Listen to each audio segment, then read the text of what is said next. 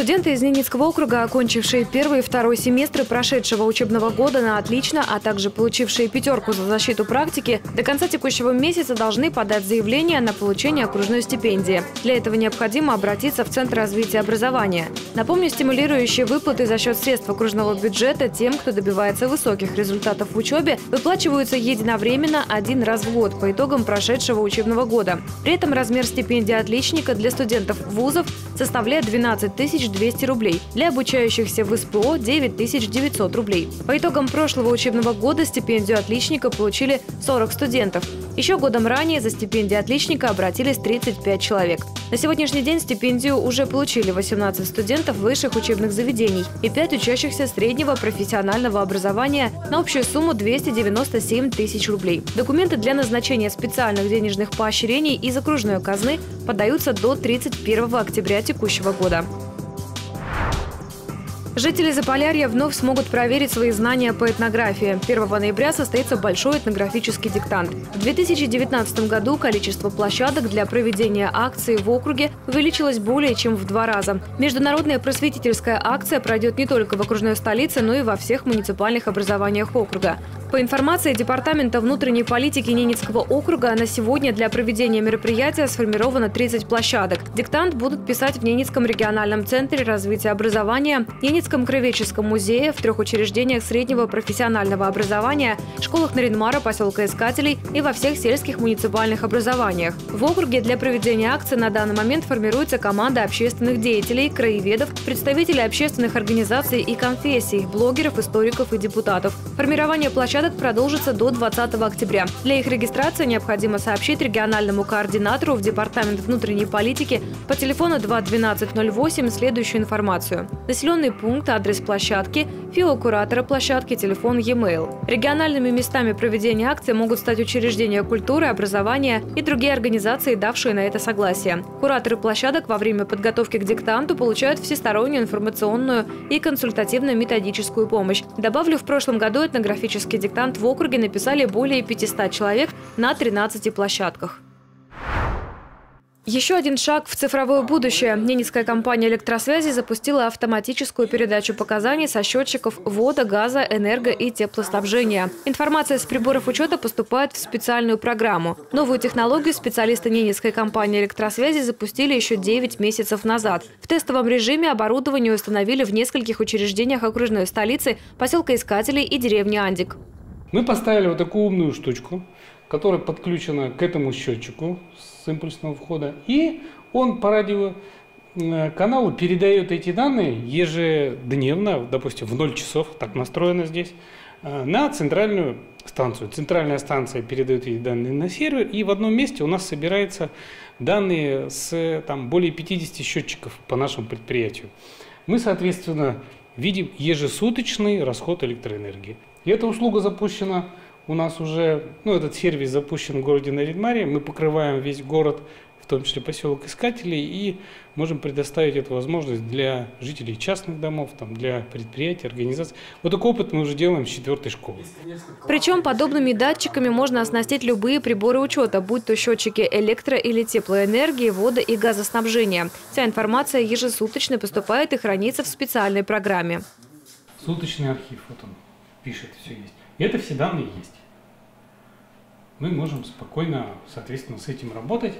А дальше э, можно очень легко передать в ПОКТС. Uh-huh. Через, допустим, ну, как бы специальную, допустим, или программу, там, интегратор какой-то есть. Ну, просто мы сейчас пока на начальном этапе собираем эти данные э, для того, чтобы э, именно отработать аппаратный уровень. Говоря простым языком, подобное оборудование упрощает процесс сбора данных не только потребителям, но и компаниям, поставляющим энергоресурсы. Ведь благодаря новым технологиям появляется возможность мониторинга потребления ресурсов практически в режиме реального времени. Дальше можно двигаться вперед, анализировать, смотреть, интегрировать системами учета, передавать там в автоматически. Ну, простой пример – это эти данные попадают, допустим, в базу данных электростанции. Электростанция производит по ним расчеты, выставляет счет. Э, пользователь, ну или хозяин дома, допустим, там, или, э, ну да, если говорить о частных домах, хозяин квартиры заходит в Сбербанк онлайн, вводит свой номер договора и так как эти системы интегрированы, эти данные сразу попадают в Сбербанк онлайн, и он сразу видит, какую сумму можно заплатить. Установить подобное оборудование можно в любой организации или в частном жилом секторе. Уточнить информацию вы можете в Ненецкой компании электросвязи.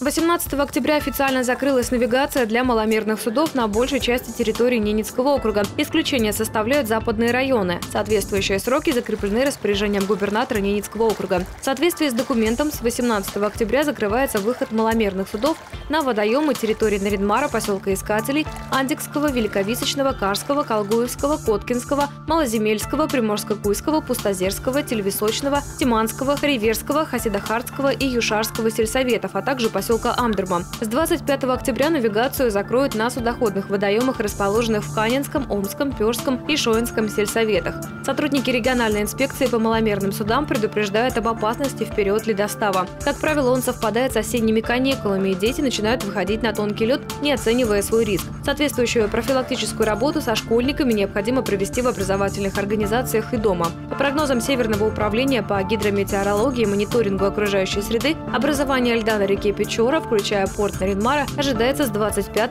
по 30 октября. Окружные сельхозпроизводители могут воспользоваться новыми региональными мерами поддержки. Речь идет о субсидии на частичное возмещение затрат по доставке масла и сыра в Наридмар и поселок Искателей из сельских поселений региона. Соответствующий порядок по предоставлению дополнительных мер господдержки для производителей продукции в сфере молочного животноводства, разработанный профильным ведомством по поручению главы региона Александра Цибульского, уже вступил в силу. Возмещение затрат на доставку сыра и масла в Наридмар и поселок Искателей предусматривается в размере 60%. На эти цели из окружного бюджета выделено более 630 тысяч рублей. Ежемесячная субсидия позволит аграриям не только снизить финансовую нагрузку на доставку товара, но и заметно увеличить объемы производства и реализации продукции. Главное условие предоставления субсидии – осуществление деятельности на территории сельских поселений. Действие новой меры господдержки будет распространяться с 1 июля 2019 года. Для получения окружной поддержки заявитель должен подать документы в окружной профильный департамент не позднее 30 числа месяца следующего за отчетом. То есть для получения субсидии за период июль-сентябрь 2019 года заявка должна быть подана до 30 октября. Добавлю, что в настоящее время в округе производства молочной продукции занимаются 6 хозяйств. СПК РК «Сула», СПК «Харпу», Ненецкая агропромышленная компания, а также животноводческие комплексы из Великовисочного, Пеши и Омы стране стартовал третий по счету конкурс для молодых управленцев «Лидеры России». Регистрация участников уже открыта и продлится до 27 октября. В связи со стартом третьего сезона губернатор Ненецкого округа Александр Цибульский на своем аккаунте в Инстаграм призвал жителей региона заявить о себе на главном государственном конкурсе управленцев. Сегодня самое выгодное вложение – это самоинвестиция. Вкладывая в самого себя, ты по большому счету создаешь себе гарантию постоянной востребованности. Такие инвестиции, как мне кажется, вполне доступны каждому через книги, которые мы выбираем, опыт, который обретаем и грамотно используем, через образовательные программы, которые в сегодняшнем цифровом мире можно подобрать и по уровню сложности, и по стоимости. Главный двигатель в этом процессе – наша собственная активность. Конкурсы «Лидеры России» реализуются автономной некоммерческой организацией «Россия – страна возможностей» по поручению президента России и является флагманским проектом одноименной платформы. Цели конкурса – выявление, развитие и поддержка перспективных руководителей, обладающих высоким уровнем лидерских качеств и управленческих компетенций. Участвовать в третьем сезоне проекта «Лидеры России» могут конкурсанты без ограничения гражданства в возрасте до 55 лет, владеющие русским языком на достаточном для выполнения тестов уровне и имеющие опыт руководства не менее 5 лет – для участников младше 35 лет достаточно иметь два года опыта работы на руководящей должности. Пенсионный фонд России напоминает, как правильно и без последствий распорядиться средствами материнского капитала. Материнский капитал – это мера господдержки российских семей, в которых, начиная с 1 января 2007 года, рожден или усыновлен второй и последующий ребенок. Размер капитала в 2019 году составляет 453 026 рублей. Право на его получение предоставляется один раз. Эти средства можно направить на образование детей, улучшение жилищных условий семьи, приобретение товаров и услуг, предназначенных для социальной адаптации интеграции детей-инвалидов в общество. Обращаем внимание жителей округа на то, что средства материнского капитала можно получить только по безналичному расчету. Любые схемы обналичивания этих средств являются незаконными. При этом владелец сертификата на материнский капитал, который соглашается принять участие в схемах обналичивания, идет на совершение противоправного акта и может быть признан соучастником преступления по факту нецелевого использования государственных средств.